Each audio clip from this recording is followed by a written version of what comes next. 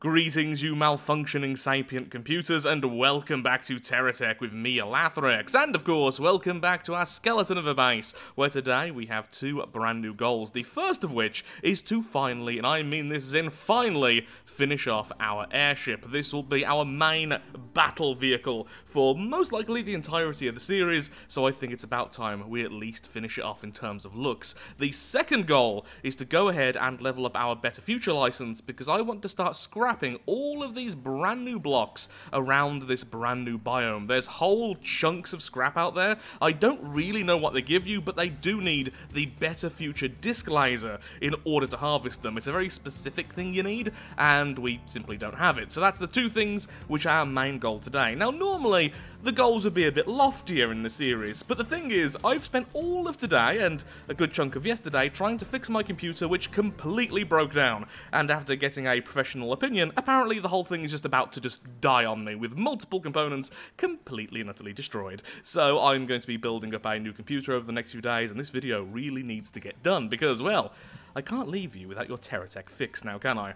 And honestly, I just want to play some TerraTech while I still can. Don't worry though, I'll be back probably next week if I do vanish. Hopefully my bodged repairs will last, but that's just a warning, I may suddenly vanish.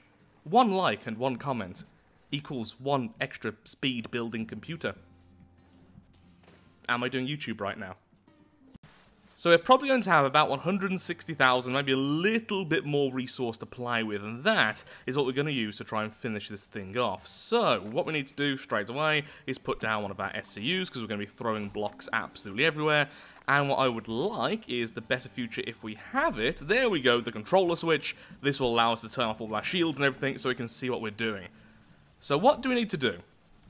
Ideally, a proper back section. I do want to keep the overall shape. I quite like the, fact the fact it looks a bit squished rather than a more luxurious looking aircraft. But the problem is we don't have enough lift for that. So what I might do is extend it a little bit. So rather than just having the single big rotor, perhaps have two sets of big rotors, then we have the back section still. It will extend it by this much, but maybe that won't be too much. I'm just gonna mess around with ideas until something looks right. I'll be right back. Already looks a bit weird. I do want to keep the two-level design though, so I'm going to have a medium rotor still above and below even the new section. This should be enough lift that even heavy weapons should be okay, plus of course all the Geocorp armor. Now, I need to do as well is make sure that the... Can I throw these well without any problems? What I need to make sure is that the glue-on batteries, which I called Glutton last time because dyslexia is fun, need to go in the very center because these things are insanely heavy. Like, these are a good chunk of our weight, and if they're on the front, where the weapon's going to be as well, that's going to be an issue. So let's have a look-see right now. So let's turn on everything. What's our lift looking like right now? I'll need to keep on checking this. Yep. Right now, far more lift from the back than the front because all the weight's on the front and we have no stabilizers. So maybe I could get away with actually putting them at the back. If I'm going to have all the weapons at the front. Okay, do weapons first, then we decide where everything else is going. That's what I'm thinking. Hey everyone, as is tradition with this series, Future Lathrix here. So, after the last video, I want to say a huge thank you yet again. After mentioning we got 10,000 likes in the first few days, we almost managed to hit 10,000 likes in the first 24 hours, hitting 9,600, which is a new record for this channel, and I can't thank you enough for the continued positivity around this series. So, with my computer being a little bit broken at the moment, the series is still going to be quite heavily edited, but a bit less than usual, just because I am finding it more difficult to get footage, but I will be back in my usual rate probably in the next week or two. Don't worry, the videos aren't going anywhere. Now, one thing I do want to say is, I've never had a thousand comments in the first 24 hours before. Wouldn't that be something? Starting to think I may use the bumpers a bit too much. But I also don't care, because I like how they look. So as you can probably tell right now, what we've done is essentially copied the front onto the back which is all well and good. I think currently the balance is still pretty much the same problem. Oh, not as bad though, not as bad. I have put down the, the big old batteries at the back and I have reinstalled one of the gyros. It's probably going to need a few more than that because even with the weapons everything else, I can't see this ever being fully balanced. I'll try my best, but likely we're going to need to do lots of gyros. Once you have some more better future stuff as well, the edge shields look amazing. There's like curved shields you can place more specifically, but those will probably be done in more future builds. Right now, I just wanted to make sure the core here was protected, which it really is now. The very outskirts can still be damaged, like you can just about clip these top jet engines and these back rotors. That's not really a huge concern, they are covered by the repair bubbles, they should be fine 99% of the time. Watch me eat my words there, but I don't want to cover absolutely everything in shields because that's just more and more power drained. SCU in the back. Okay, now to balance the front. Currently, it's actually going to lean backwards, I imagine. Yes, it's actually a little bit back heavy now with both the batteries and the SCU there. The SCU is very heavy, but we haven't added any weapons yet. So, let's add those and see how that goes. Not done yet, just testing out the balance of this thing. I brought all of the movement a bit more to the core to protect it. And at the front now, we have this lovely cannon, because it can actually aim a bit. Oh, that's much better. Yes, we have a cannon on the front, cannon at the back, which I think just looks significantly cooler. Those things can actually aim. These need to be replaced, though. I thought these could do a full 360. Apparently they can't, so they can't actually aim forwards at the moment, which isn't really a good thing. So although the cannons can aim, still need to be a fair distance away from the target, but at least now we can actually use them in combat. Lovely. As you can probably tell, I'm having a real tough time controlling this right now. Not yet balanced, but it's looking, in my opinion, really cool. It's almost done now. It took way longer than I expected, but yeah. We have adjustment thrusters all over this thing. We have a grand total of eight of them. A lot of them are just hidden away.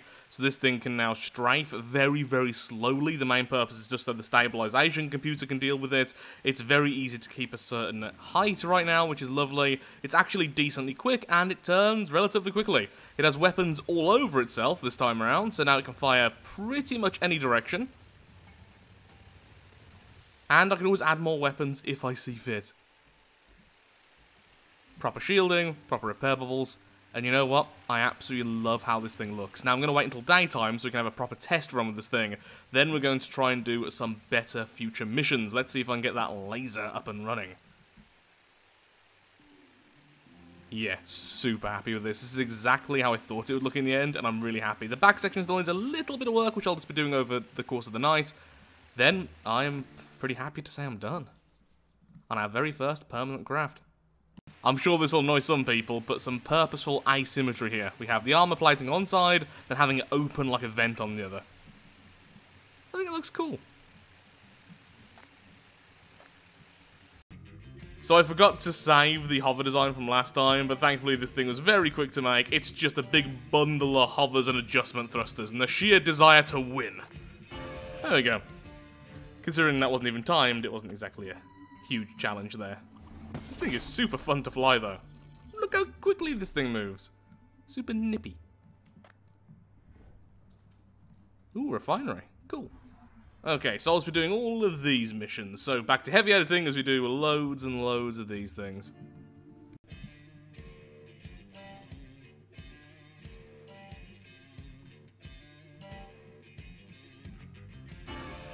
I think I managed to hit almost every single ring there. But victory is a victory. Oh, there it is.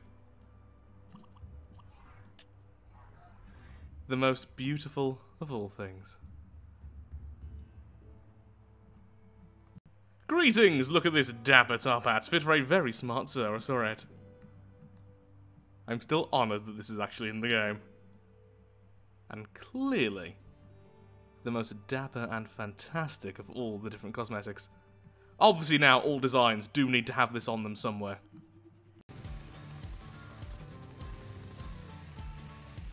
I'll just leave you as a disembodied head. That's what we get for shooting one of our tiny little hovers. In the background, they're trying to sell stuff as I try and complete this all by myself. Once again, no timer, so it's nice and relaxing.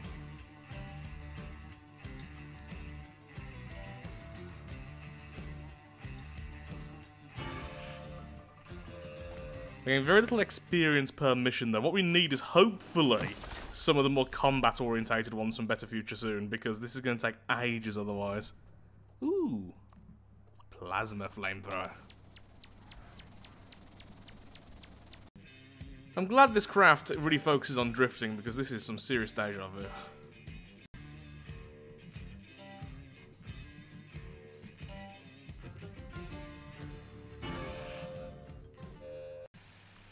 Just a small combat one, punks. Now what I'm curious to see is if the stabilization computer can deal with us when we're firing our weapons. It tends to not do the best job there. On the upside, we appear to have melted that first enemy. Yeah, we're not moving too far left and right, at least a lot better than it was before. Before we were bouncing massively. Now it seems like our aim is just as good as the inbuilt tracking in TerraTech. Which, as you can see, can be a problem sometimes.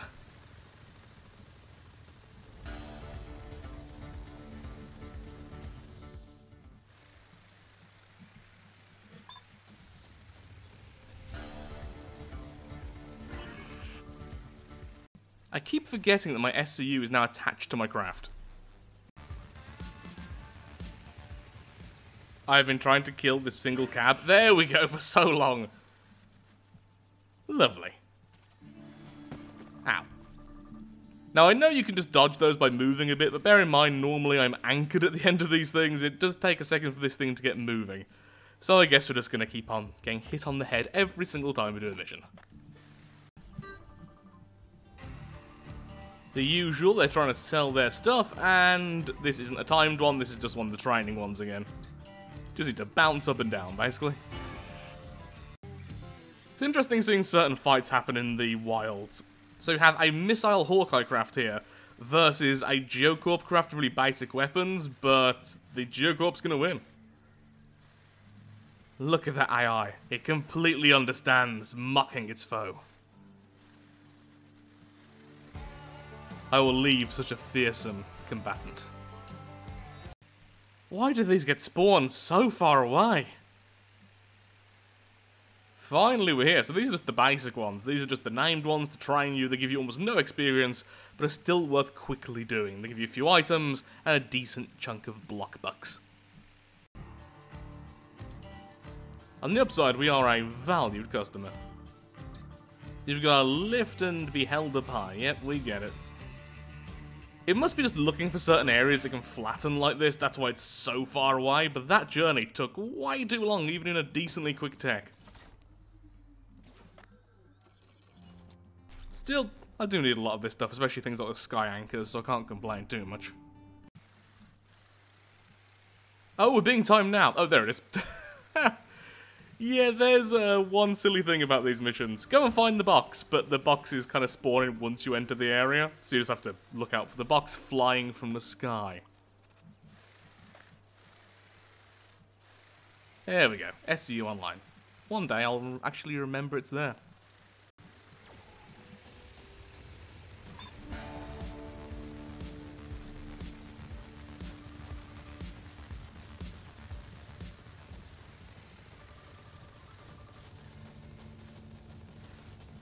One down. Or at least spinning out of control violently. One of the two. Oh, lovely. And number three. Ow. So I think it is this tier where we get the laser we need to start scrapping all the things in the wasteland. I think.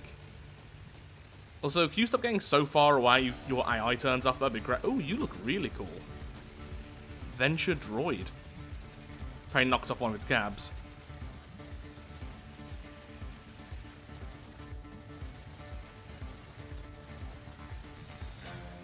Well, there goes that. And there goes little interloper attacking halfway through. If I can shoot through its corpse to get to its head. There we are. Lovely. Hubble, bubble, and trouble. I completely forgot about these missions. Well, that's what we're doing in a second then. First of all, I'm going to quickly throw this one out of the way throw this one out of the way, get this one out of the way, or apparently throw things around angrily. This will give us six parts. Hopefully one of them will be the laser. If not, we'll go off and do this mission. Then return to our base triumphantly. Or am I going the wrong way? No. It's just very, very far away once again. This thing really does strafe incredibly well. Okay, one more mission done.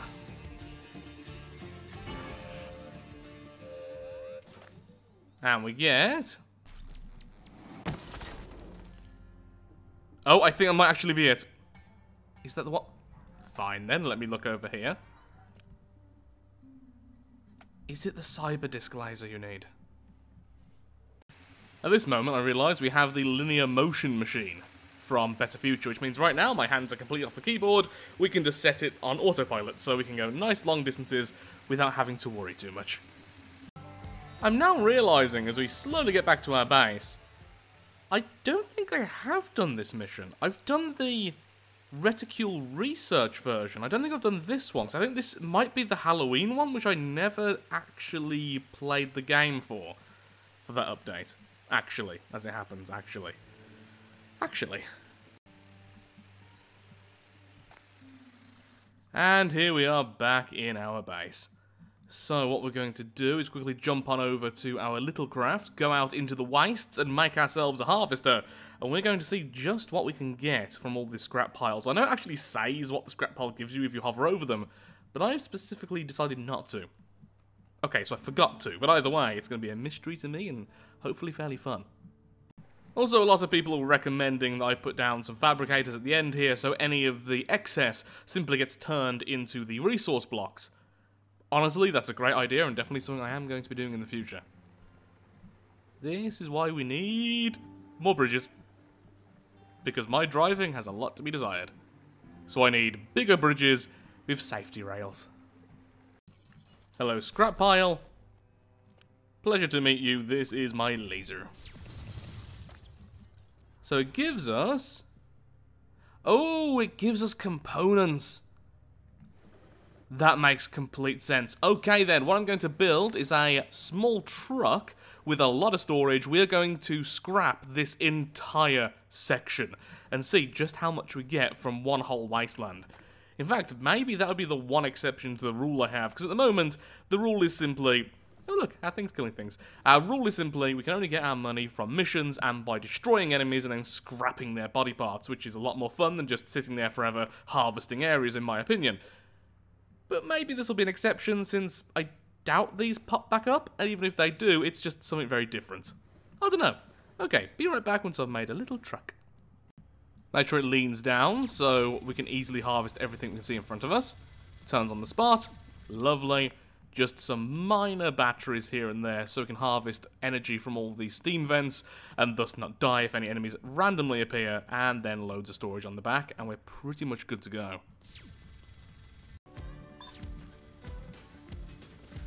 You know, this may be only designed to harvest all the items around here, but that laser can do a lot of damage. There we go. There we are. Nice and quick. We move nice and quickly, we turn nice and easily. This truck may not look like much, but it's kind of perfect for this job. It also has loads of battery power, so it should be nice and safe for a long time. I am determined to get every single bit of scrap in this yard, and then I'm going to see if these things respawn. I'm kind of hoping they don't, because then at very minimum, if I, if I, need to make money in the future and I'm desperate, I could go to the scrap heap since it'll be nice and far away and it'll be a little mission. But we'll see how things turn out. When I get back and I have a dropper, I can attach a dropper to the back of this thing and then set it so I can just drop all these items at will. We have loads already, look at that. This is going to be a fortune when we're done. It's going to take a minute though.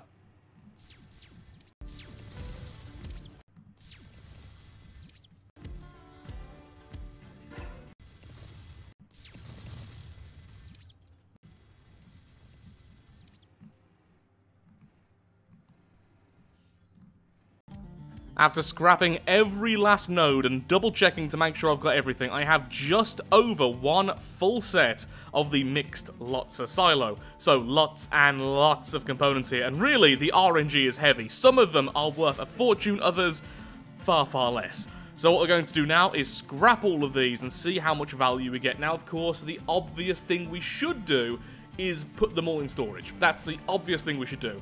But I want to see the value of one entire biome's worth of resource. The, the, of course, new biome. So I've got the dropper here. We're on normal speed. The scrapper here is on full speed. And we're going to just move everything back. That should go to the dropper. And then that should sell.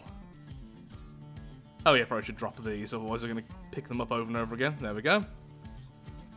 Okay, I'll be back in a second once all of these have sold.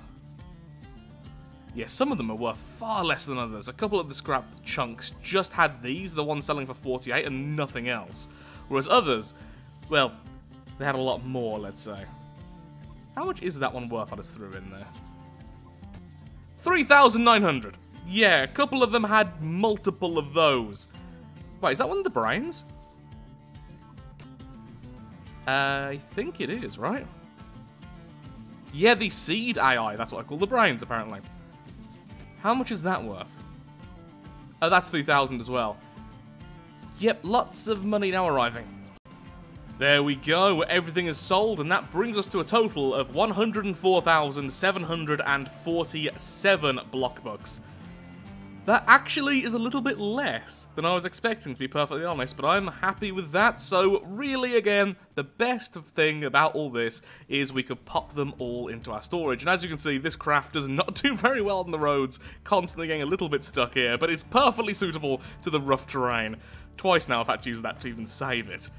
But with that, I'm afraid I am all out of time for today's video. I think we've actually done quite a lot here. We've got some more resources, finished off our aircraft finally, built a second permanent tech, since I will be using this over and over again. It can survive a lot of damage and actually deal out a fair chunk of damage just because of the laser. We can add extra weapons to it if we so desire. And we've figured out the mystery that is the Wastelands. So tell me in the comments below if you think I should just continue to harvest the Wastelands or have them more of a one-off type of thing. I'm really curious to see if the things respawn eventually. I'm thinking they won't, but maybe they will. And maybe I should get a plane and go to all the wastelands collecting all of the parts and then come back and put them into storage. That would actually be really, really interesting, and that's exactly what I'm going to do, so feel free to say what you want, but that's probably what we're going to do anyway. So with that, thank you so much for watching. If you have enjoyed today's video, then of course, likes, favourites, shares, comments, all that good stuff helps out me, helps out the channel, and most importantly, shows that TerraTech is a series you wish to see continued in the future. Thank you so, so much for watching, and goodbye. Hopefully, next time or the time after, I'll have a computer which doesn't sound like a crying cat.